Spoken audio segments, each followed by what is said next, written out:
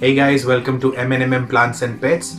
Today's video is not about any plant or plant care, but what can I feed my plants that can keep them healthy and that helps them to grow and stay green or whatever color they have throughout the year. So do watch this video because all the fertilizers that I will be showing will be 100% organic, 100% for free. You don't have to purchase anything special for your plants and they all will be made easily at your home.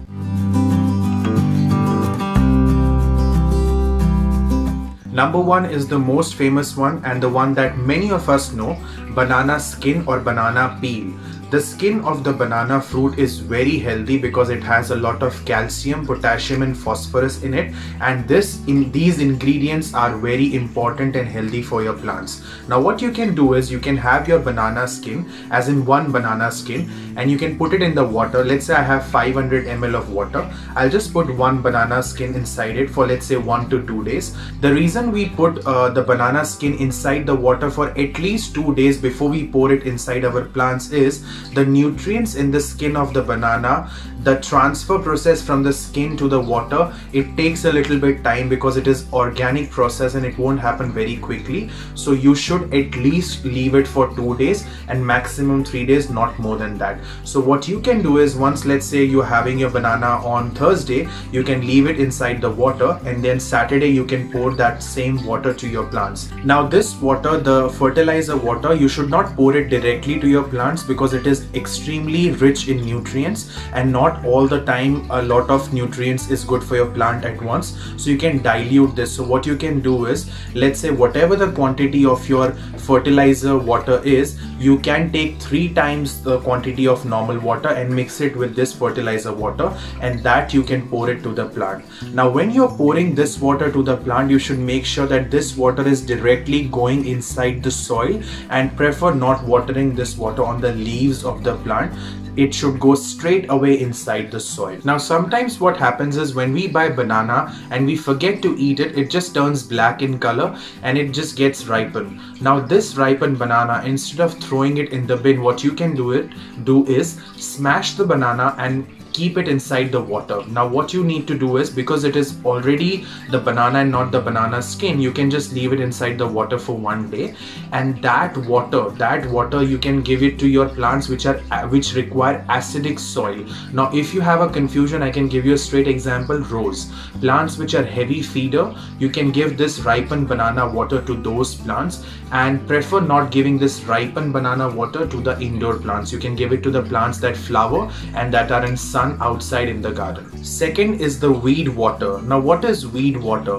Weeds are nothing else but the unwanted grass or the unwanted plants that grow in your garden around the main plant. Let's say you have uh, pot a plant that is very important to you. And you will see that suddenly around that plant you'll see the grass growing. And that grass is something that you're not taking care of and it just grows wildly. Now you have to understand why do I need to use this as a fertilizer? What you can do is you can just pluck those weeds keep inside the water for one to two days. I would prefer two days and then again you can dilute that uh, fertilizer water with the normal water and pour it to your plants again directly to the soil and not on the leaves of the plant or the flowers.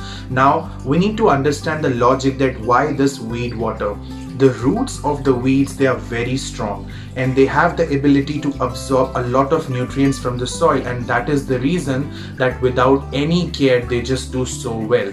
So if you use their water in your plants your plants roots will also develop and have the ability to absorb a lot of nutrients from the soil the ratio of the weed and water can be 1 is to 5 that means 1 over here is weed and 5 over here is water. That means the water has to be 5 times in quantity that of weed.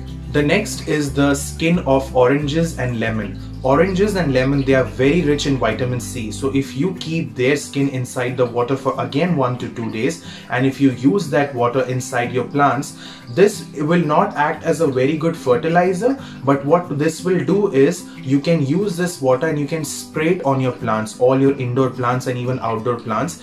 This will keep the insects away from the plants. And also if you have mealybugs on your plants which is very famous you know a very famous disease among plants you can use that water and spray it on your plant. It will help keep the plant healthy and stay away from the insects and the mealy bugs as well. Next is aquarium water or the fish bowl water. Now if you have a fish bowl or an aquarium like I have a small fish bowl so what I can do is uh, every two weeks I change the water of that fish bowl. That water instead of throwing it you can dilute it again with the normal water three times normal water and you can give it to the plants. And that water is extremely rich in ammonia which is very important for the plants. So you can give this water to your plants and you will see your plants doing well. But something that you need to take care over here is if you have a seawater aquarium or you have an aquarium which has a lot of salt you have added a lot of salt inside it just to maintain the pH value of the water then that aquarium water is not something that you will use but if your aquarium has a normal water normal tap water then you can definitely use that water and give it to your plants for healthy life the next ingredient is something that is applicable to every single person and is extremely easy. Whenever you are cooking inside the kitchen, you're washing your rice, lentils, beans, spinach and other green leafy vegetables. Now whenever you wash them there is always a leftover water. Now this water for example if you see at the screen right now I was washing the rice today and what I did was instead of throwing that rice water away I just poured it inside my basil plant. So you can use this cooking water and you have to make sure that the water is normal in temperature. It should not be very hot or very cold and you can straight away pour that water without diluting inside your pots whether it is indoor or outdoor plant and trust me this is one of those fertilizers which is my favorite and I use it all the time. Next fertilizer is eggshell. The eggshell consists of 95% of calcium carbonate. Now what does calcium carbonate does? It improves the fertility of the soil. Now you have to understand one thing that the eggshell plant reduces the acidity of the soil. So you should not give eggshell water or eggshell to the plants that require a lot of acidic soil. For example, roses or for plants that bloom heavily in sun. So you have to give eggshell water to your indoor plants and avoid giving them to your outdoor plants. Next is wood ash. If you have a fireplace where you can use the wood ash or if you know someone who has a fireplace, you can take some wood ash because the wood ash is rich in calcium, potassium and magnesium and that is why it is very good for your plants. Again, it improves the fertility of the soil and is not good for the plants that require a lot of feeding and that for example roses. Next fertilizer is again something very common. You can use your tea bags and you can keep them inside the water and that water is again very good for your plants and you can give this water to any plant. It can be indoor or outdoor plant and this is a simple fertilizer that anyone can use. All these fertilizers are something that I've shared but you do not need to use all of them. What you can do is I would recommend all of you to give liquid fertilizer to your plants once in 15 days that means twice a month is more than enough. Now the reason I promote always organic and liquid fertilizer is you have to understand one thing that it is very easy for the roots of the plant to absorb nutrients from a liquid compared to the solid and hence if we use more of a liquid fertilizer you will see the results faster compared to when you use solid fertilizers. Now again these fertilizers were mostly something that would improve either the fertility of soil or would make your plant strong because they have calcium in it or they would make your plant green because they have nitrogen in it. But if your plants are getting diseases again and again, there is one remedy that I would highly recommend and that is getting turmeric powder from any Asian store.